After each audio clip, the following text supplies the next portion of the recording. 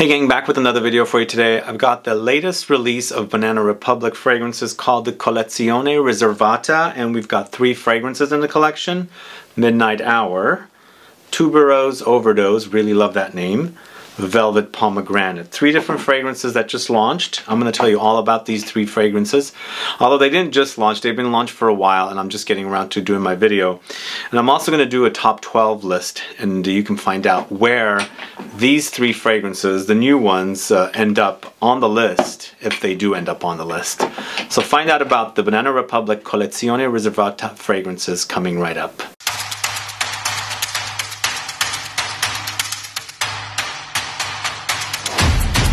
Thanks so much for tuning in. This is Sebastian. Yes, today we're talking about the Banana Republic fragrances called Collezione Riservata. It's Midnight Hour, this one. Tuberose Overdose, Velvet Pomegranate. And I'm doing a top 12 list and we'll let you know if any of them end up on the list. There's a lot of fragrances in this collection and I've got them here, all of them. Not everything is on the list. And I'm also going to do a bonus portion at the end of the video and let you know one of my most uh, unloved fragrances from this collection that everybody seems to love. I don't get it. Before I get to the fragrances, if this is your first time tuning into the channel and you haven't subscribed, please do click the subscribe button below and also click the bell so that you'll be notified for future videos and giveaways. Are you a fan of the Banana Republic fragrances? I do want to uh, let you know a lot of these do smell like their other fragrances, but done in a different way. So they'll start reminding you of other fragrances uh, that are sort of popular and things like that. But the, this new collection, um, two of them kind of lean feminine. One of them is masculine, and uh, I'm going to start off with the, the masculine offering. But before I let you know, these are 75 ml bottles, as you can see like this. And they are $96 suggested retail I have a link to So Avant Garde, who is the distributor of these fragrances, and there's a discount code of 20% off in the info box as well. You can go there and take advantage of any fragrances on the So Avant Garde website. So I'm going to talk to you about my favorite in the collection, Midnight Hour, first. Again, this is a 75 ml for 96. It's an eau de parfum concentration. And um, this one does have familiarity. It kind of reminds me of that kind of Aventus style of very crowd-pleasing, kind of fruity take on a fragrance.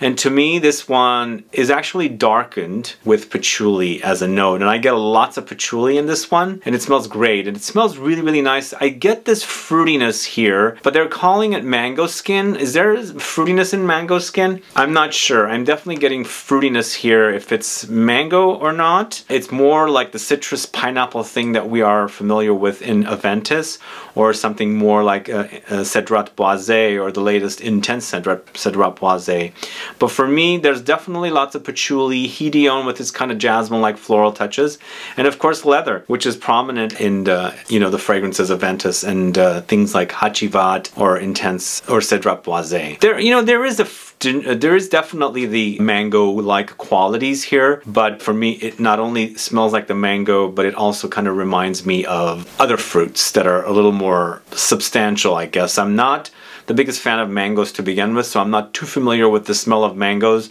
although I've smelled them in my lifetime. Uh, but to me, this doesn't really smell like uh, mango skin, perhaps it does, but I get more of like a leathery, kind of a something leathery kind of a skin. But there's definitely some gingery touch in here, loads of muskiness, and a little bit of a distant greenness in the background. But I quite like that it smells great on me. I love the patchouli amped up in here. I love patchouli, but this is kind of like the clean patchouli as well. More of the kind of toned down patchouli, as in not chocolate cakey, because I don't get any of that chocolate cakiness here, but there's, just, there's definitely that kind of clean patchouli-like quality that I really, really like. So I think Midnight Hour is definitely a winner. I would suggest that you test these fragrances out if they sound great to you, but also this one is definitely going to be a crowd crowd pleaser because it smells really, really great. Uh, and then the fruitiness kind of sweetens up on me as well.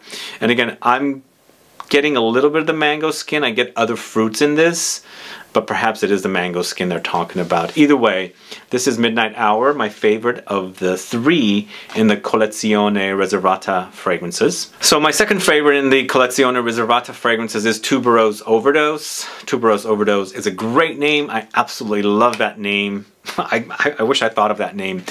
But this is tuberose overdose, yes. But no, it's not only tuberose overdose, it's a, floral overdose to begin with. Lots of tuberose here and lots of jasmine. You definitely pick them up. And you're also going to pick up a lot of frangipani and tiare flower. They're definitely here. You experience the tiare flower and you experience lots of uh, the flowers in general. But there's definitely kind of like a tropical, kind of a floral experience happening here. But in addition to that, there's a little bit of a light gourmand touch and definitely like a green apple kind of an experience here as well. It smells really, really great. The other thing this also kind of reminds me of is freshly laundered sheets and laundry. Very potent laundry detergent smell kind of mixed in with your linens and uh, sheets and things like that for a very, very fresh fragrance experience with this one. But definitely you experience the tropical touches, but it's an overdose of not only tuberose, but definitely an overdose of uh, flowers in general. So tuberose overdose is my second favorite of the bunch. Unfortunately, velvet pomegranate I did not care for too much. Uh, something about it, I don't know, it was a little young and girlish to me and um, very sweet and I don't mind sweet fragrances but this one came off a little too sweet and I was hoping that the pomegranate would be more like the tart variety which is what I'm used to in pomegranates.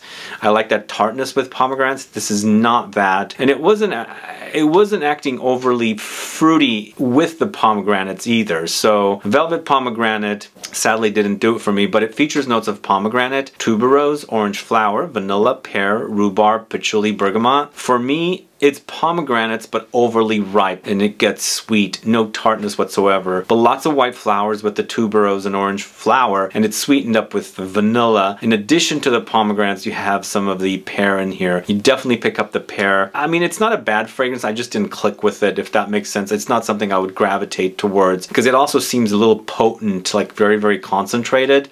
Uh, I think it's just the fact that it's a very very sweet fragrance and it feels like it's just overwhelming sometimes. And again don't get me wrong I love sweet fragrances. I love vanilla, sweet kind of fragrances.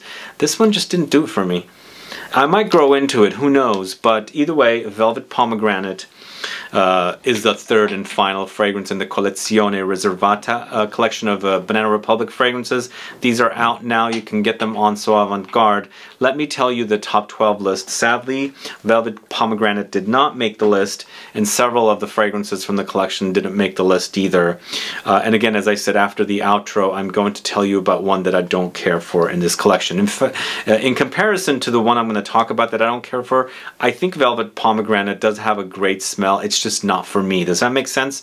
I wouldn't wear this one. But uh, the one that I'm going to talk to you about in the outro, I don't care for it whatsoever as a smell. First fragrance at number 12 is Peony and Peppercorn at number 12. So this is a spicy, peppery peony experience. And the thing is they also have some rose in here with some fresh notes and musks and things like that. So it gets to be a floral, spicy, musky kind of an experience. There's a light fruitiness in there with plum. So I've put uh, peony and peppercorn at number 12. At number 11, it's tuberose overdose. Uh, do quite like this one. And comparing peony and peppercorn to tuberose overdose, I get more of a potency as far as a concentration of the fragrance. But I already mentioned what this one's all about. Loads of tuberose with jasmine, frangipani, there's tiare flower and green apple, and a little bit of a chocolatey praline touch. So tuberose overdose at number 11. So 90 pure white is at number 10. This one's to me a very clean fragrance.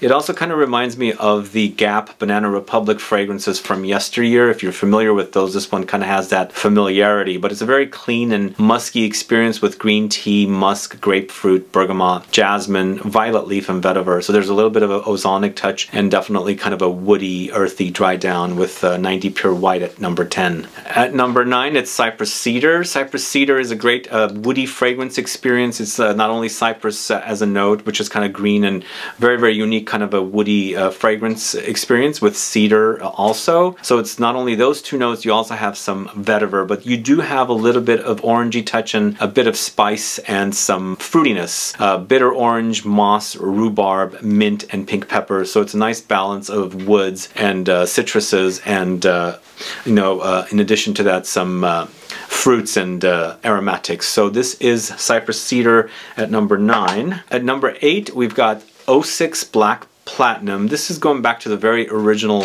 collection of fragrances launched in this particular collection. And this is a leather fragrance with spices and citruses eventually drying down to an ambery woody base. It's leather, pink pepper, orange blossom, amber, there's some cactus, jasmine, moss, and patchouli. Definitely a great leathery experience, not overwhelming, but smells great and uh, has a decent performance as well. 06 Black Platinum at number 8. This is a great one at number 7. It's Neroli Woods. Definitely a great smelling neroli, powdery experience and woody dry down with lots of neroli and mandarin leaf, coconut nectar, orange blossom, sandalwood, solar notes, cedar, and frangipani. There's definitely woody experience here and a little tropical as well. It's very, very sunshine, like a sunshine in a bottle kind of an experience with citruses and citrus flowers. So Neroli Woods at number seven. So at number six, going to more of a modern uh, release from this house. These came out last year, at least this one did. This is Metal Rain, this one right here. This is uh, sandalwood, lavender, green tea, ambrocenide, black currant, lemon, violet leaf, and cashmere. And this particular fragrance also reminds me of a Creed fragrance, and I believe um, I'm drawing a blank with the name, but there's definitely kind of like that reminder of a Creed fragrance. In fact, the next one also is a, a little bit of a reminder of a Creed fragrance, but this one definitely has a bit of a metallic um, ozonic experience, especially since it has violet leaf note, and definitely has a little bit of a fruitiness and then also some musk muskiness. Metal Rain at number six. At number five, it's Grassland, and this one definitely re reminds me a little bit of Green Irish Tweed. Again, these definitely remind us of other fragrances, but they seem to be in a different direction. They're not like dupes or things like that. They go in different directions. But Grassland is definitely an aromatic experience with mint, ambergris, bergamot, lavender, sandalwood, ozonic notes once again, moss and apple. If you like the idea of Green Irish Tweed, definitely check this one out. It does smell green and fresh. Grassland at number five. And I put Midnight Hour at number four definitely really like this one a lot. It's an easy wear. I think it's going to be a crowd pleaser. I think it'll garner compliments. It smells great, especially mixed with your own body chemistry. I think it, it does have great projection and longevity as well, especially because of that patchouli, as I mentioned, that's in here. It's also the patchouli. In addition to that, we got hedione, leather, musk, ginger, of course, the mango skin, leaves, and star anise. A wonderful fragrance, number four, Midnight Hour. Can you guess my number one? At number three, it's 17 Oud Mosaic, going back to the very, very initial drop of these fragrances, the first batch. This is a great take on something that smells like Oud Ispahan from the house of Dior. In fact, it's a, a little more animalic than Oud Ispahan, and it's actually really, really uh, a great smelling oud and rose combo. It's agarwood, plum, Turkish rose, saffron, cardamom, white pepper, and labdanum. Definitely has an ambery dry down. There's definitely a leathery experience as well, but it's a great combination of oud and uh, rose with a little bit of a fruitiness in there. 17 Oud Mosaic at number three. Number two, tobacco and tonka bean. This is a very creamy tobacco experience with tonka beans. It's also got a light fruitiness in there uh, and a little vanillic coconutty experience as well. So it's tonka beans, mirabelle plum, tobacco leaf, vanilla, coconut, and pear. It does have a little bit of a reminder of something like a Zara's Rich Warm, the tobacco collection fragrance. A little bit. It's not identical. There's, I think that the fact that it has coconut might hint at it a little bit. They're different though. Tobacco and tonka bean from the house of uh, Banana Republic at number two. My number one favorite is is 78 Vintage Green. Yes, it's great. It smells really, really great. This one also does remind me a little bit of Hermes Un Jardin Mediterranee. It's a great fresh green fig experience. It's bergamot, green tea, green leaves, fig, mandarin, orange, jasmine, vetiver, and magnolia. I love this one. It's very fresh. It's a perfect fragrance to wear in the summertime. Overspray, smell great.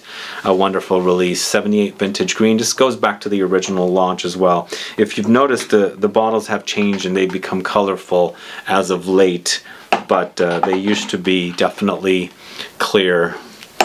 I like the I like the colorful bottles. But either way, guys, that's all I have for you today. Those are my ranked list of Banana Republic fragrances. I left off a bunch, and my thoughts on Midnight Hour, along with Tuberose Overdose, and uh, finally, Velvet Pomegranate, which didn't make the top 12 list. Have you tried these new fragrances from Banana, Republic called Collezione Riservata uh, collection? Let me know, put a comment down so I can find out. Either way, guys, thanks so much for watching today's video. If you have any questions or comments, please list below. Please like this video, please share it, follow me on Instagram and Facebook, and I'll be back with more videos very soon. Have a good one. Goodbye.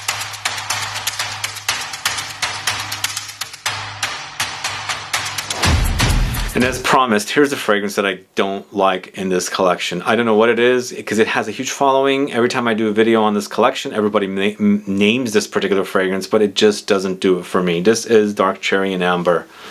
Boy, what am I missing out? I just don't smell anything, hardly anything there. It's like hardly any cherry and hardly any amber. It's just like woods, nothing but woods with a little hint of cherry and a little bit of amber thrown in. I don't get the hype around it. It's disappointing to me. Maybe I have a bad bottle. I don't know, but it just doesn't smell anything like dark cherry and amber. Are you guys fans of this particular fragrance? Do let me know. Put a comment down. Either way, guys, that's all I have for you today.